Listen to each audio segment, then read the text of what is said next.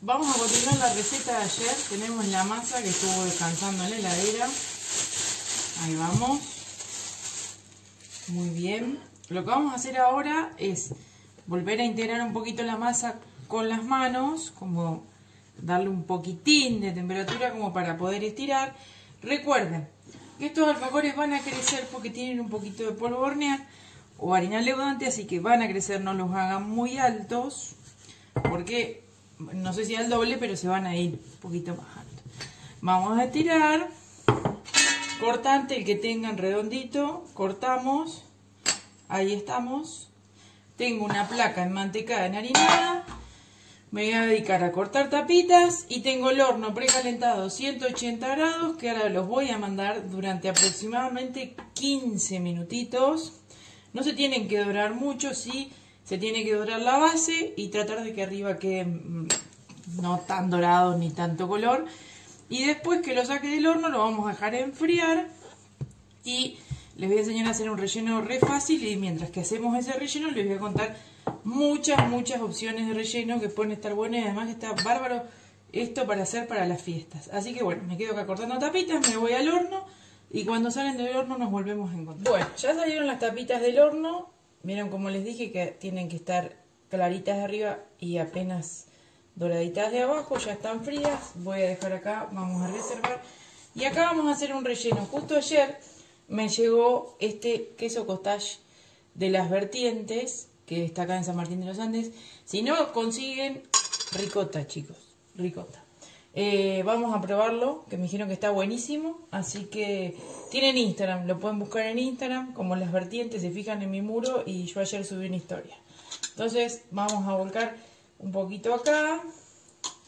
Ahí estamos, que lo vamos a trabajar porque es medio seco. Le pueden agregar un poquito de queso crema o eh, crema que yo ahora voy a ir a buscar y tengo además sal y pimienta y tengo cibulet picado que le vamos a poner y unas almendras. Ojo el piojo porque este es un relleno muy muy bueno. Me voy a buscar un poquito de queso crema eh, y continuamos con esta bueno vamos a poner queso crema. Si no saben con qué puede quedar muy bueno mascarpone. Ahí vamos. Vamos a integrar bien.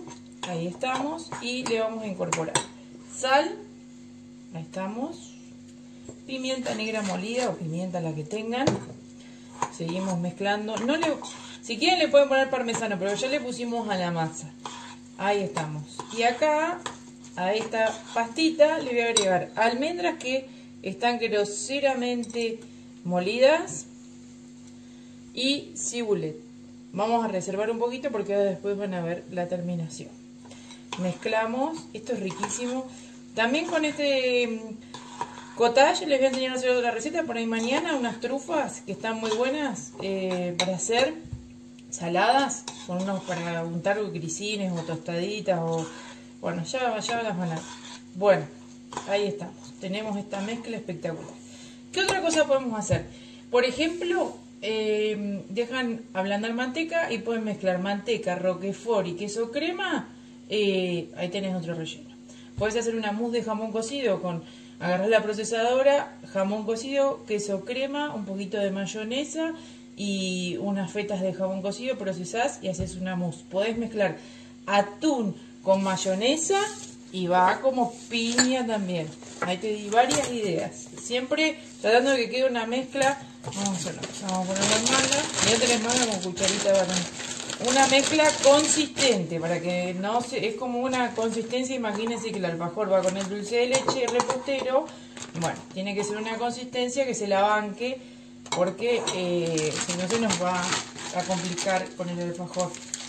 Ahí vamos, voy a cortar la punta de esta manga, vamos a hacerla grande por el tema de que tienen que pasar las almendras y vamos a empezar a rellenar estos alfajores. Mira lo que es, mira. Ahí estamos. Mirá Esto puede ser para un canapé también. Este, este relleno que les enseñé. Hacemos así. Vamos a reservar un toque. Voy a hacer otro más. Y les muestro cómo lo terminamos. Ahí estamos. Mm, qué rico. No saben el aroma que tiene. ¿Qué hacemos? ¿Vieron que les dije que reserven cibulet y almendras picadas? Mirá, mirá lo que hago, ¿eh? Lo voy a pasar así.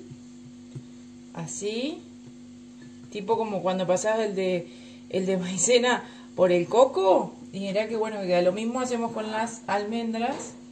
Ahí vamos, que se le peguen unas almendritas a los costados. Ahí estamos. Si hacen de roquefort, pueden ponerle nueces también, que queda muy bueno, mirá. Puede ser eh, con roquefort a nuez, que puedan eh, procesar todo con un poquito de queso, crema, mayonesa. Uy, tienen infinidades de rellenos. Bueno, yo me voy a quedar armando esta delicia. Y bueno, espero que les haya gustado. Una bomba. Mira lo que es. Estos van a estar para las fiestas. Vamos a preparar. Así que eh, los van a poder encargar o van a estar en las box también. Ahí está. Vamos con el último. Así les muestro. Y voy a sacar una linda, linda foto para la portada de YouTube. Espero que les haya gustado esta receta. Vamos a hacer algo más con el cottage de las vertientes, que está muy bueno. Y seguramente mañana nos vemos con esa receta que va a ser muy, muy, muy rápida. Mira lo que es esto de mejor con almendras. Muchísimas gracias por siempre acompañarme. Nos vemos mañana con otra super receta en nuestro canal de YouTube Buenas y Santas Pasteles.